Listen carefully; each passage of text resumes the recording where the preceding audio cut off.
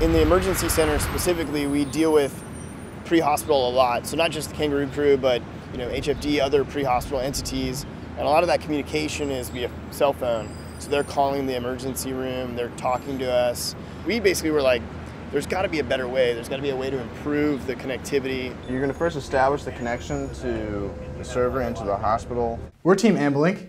Our partners, Texas Children's Hospital and the Kangaroo Crew, have identified a need for a system that allows their transport team to speak with their dispatch teams on standby in their hospital, en route with the transport with the patient.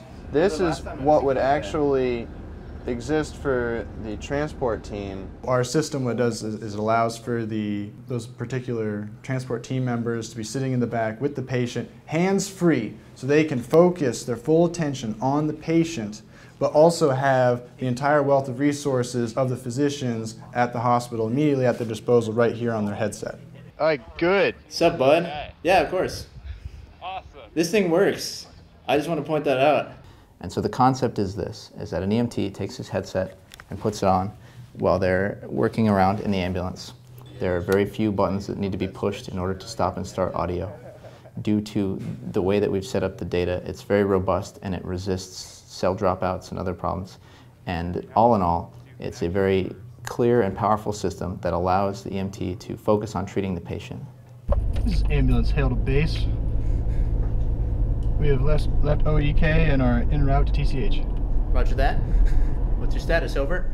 We may not act as well as we engineer, I hate to say it. it's using three, but it can have as many as you want, as many connections as you can pay for. We are utilizing also is streaming currently over all three modems. Hey, all three modems at once, that's fantastic. It will support all of those and use them all for transmitting the data. We want another video over here. Go ahead and send one out.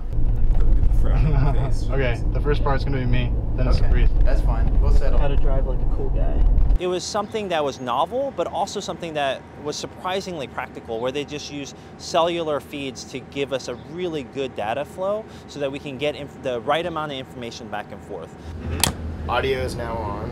Yeah, so now and I'm talking to someone. Let's say yes. I'm not getting any feedback from the provider in the hospital. If you want to get their attention, I basically hit the alert button. Mm-hmm. And it was really the human engineering that made it more powerful, where they took the things that we needed and engineered switches and buttons that simplified the whole process that we might not have gotten from a, a, million dollar corporation that really might not be getting our input. They might have just built something purely from a technical standpoint and then given it to us with like 20 buttons for us to push to get the same solution on the other end.